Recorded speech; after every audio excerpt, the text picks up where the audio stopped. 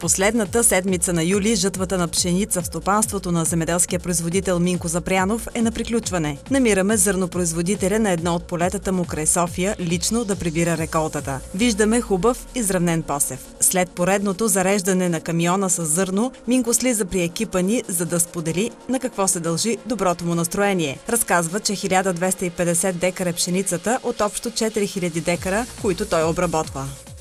Пшеницата всичката е собел и сореал на косат семас на 100%. Миналата година започнах за първа година, останах доволен и сега всичко ми е засято с тяхна пшеница. Тази година се движа между 550 и 600 кг декар.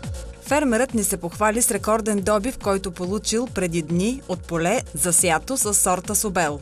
Там получихме от 62 декара 57 тона пшеница, което е над 900 кг. Това се дължи първо, че там беше Боб миналата година, който е добър предшественик за пшеницата. А, този блок постоянно се, през година се залива от реката и е много плодороден. Включително и семето, което нали, самата пшеница е също доста сериозна, се получи този добив. Тази пшеница има няколко предимства. Първо е тя малко по-късно стартира развитие. Второ, има достатъчно наличие на восък. Всички съседи тук, които работиме заедно, те имаха проблеми с житния бигач. Докато наличието на тази пшеница е с голямо съдържание на восък, нито съм пръскал, нито съм имал проблеми. А всички колеги с останали сортови пръсках. И понеже се разви по-късно сушата, която беше тук 50 дни, целия май, почти ни я докосна. Другите пшеници пострадаха, те по-рано се развиват.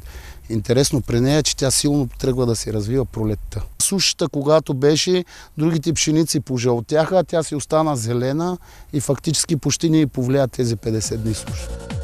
Пшениците на Косат Семанс имат много дълга вегетация с много добре изразен стей грин ефект. Ниски са, не полягат, имат много мощна коренова система, устойчивост на болести, образуват много добър клас с много семена и имат отлични хлебопекарни качества. Ниската сейдбена норма от 20 кг на декар се обославя от високата братимост на двата сорта на Косат Семанс. Въпреки, че е наясно, че тези пшеници с много по-висок добивен потенциал, Минко е доволен от резултатите, които получава.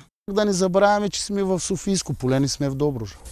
Зърнопроизводителят е категоричен, че през новата стопанска година отново ще се довери на селекцията на косат Семанс. Така ще направят и още много други земеделски стопани в страната, мотивирани от високите добиви, които сортовете на френската компания дават. Нов сорт пшеница, който фирмата ще предложи през есената кампания е Солвейк, който е безусилест и е приспособим към различни почвени типове с стабилни добиви. Второто ново предложение от косат Семанс през тази есен ще бъде усилестият сорт Софру,